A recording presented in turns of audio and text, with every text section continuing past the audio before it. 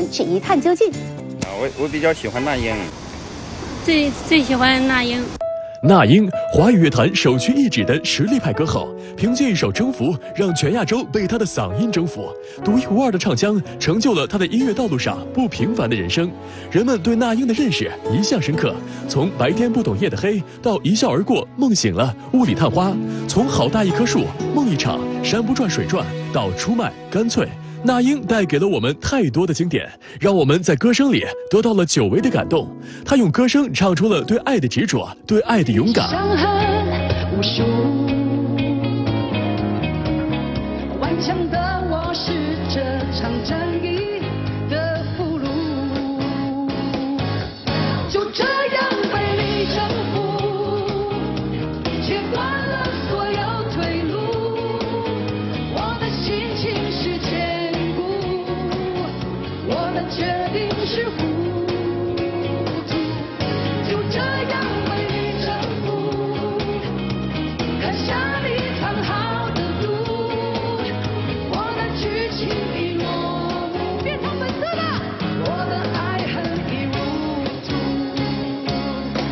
当很多歌手到了年纪便可能因后劲不足而慢慢隐退时，不惑之年的娜姐却再以一首深情款款、灵气十足的《默》强势横扫榜单，俘获无数年轻人的心，用响当当的实力告诉歌迷：姐一直很红，一直很受欢迎。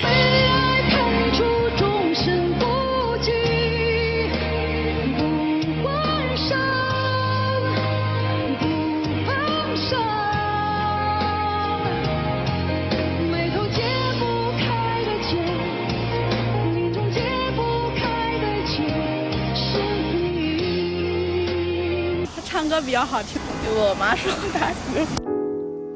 娜姐的歌声不仅是老一辈人难忘的青春记忆，也是年轻人心中不可复制的经典。娜姐的歌，老幼妇孺都能开口哼上两句，多年来一直保持着 KTV 中名列前茅的点播率。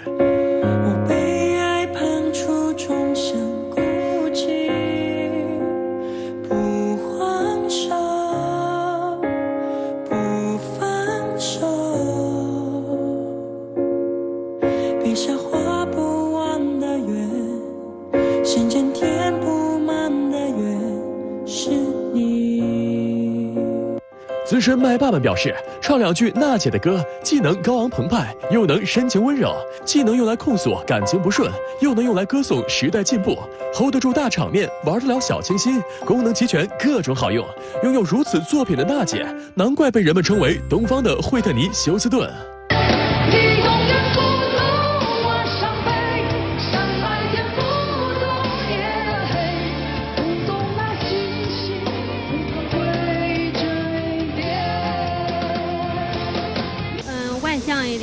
在唱歌方面比较有天赋。啊，帅气。金角跟银角，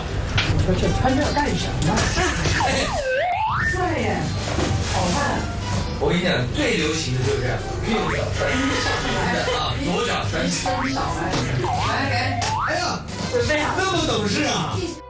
虽然拿人家手软，可到了评价其余三位导师时，娜姐丝毫没有嘴下留情。汪峰是长不大的老小孩，杰伦深藏不露，哈林，哈林更长不大，他不想长大。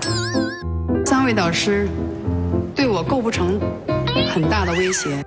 爸爸妈妈喜欢娜姐是因为经典怀旧，我们喜欢娜姐是因为她的个性豪爽大气。然而，娜姐还有我们不为人知的一面，其实她是一个实实在在的大吃货。我上次去一定要请我吃。但是刚才他也有问我，他在台上问我，刚才我有唱的不好吗？他其实他唱得非常好。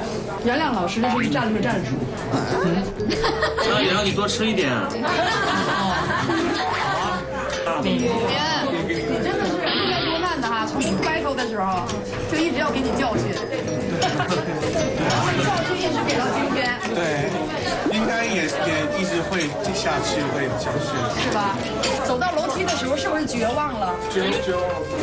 那你觉得不可能会你真的拜拜了？对啊，对，我已经准。因为酷爱零食，娜姐身边总会随身携带一个装满零食的小篮子，里面究竟装了点啥？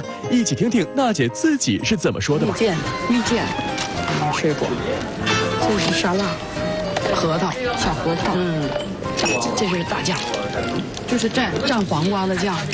就是不是小食多餐就可以？说到底，吃货只是娜姐的一个属性。娜姐的人格魅力可不仅于此，让我们一探究竟。她的内心永驻少女。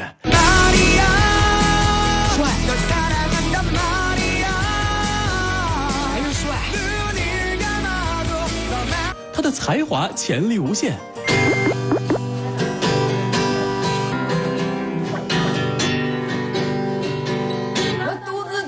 你身旁，并没有话要对你讲。声音不够哑，哒啦哩哒啦哩噔咚。声音不够哑，哎呀！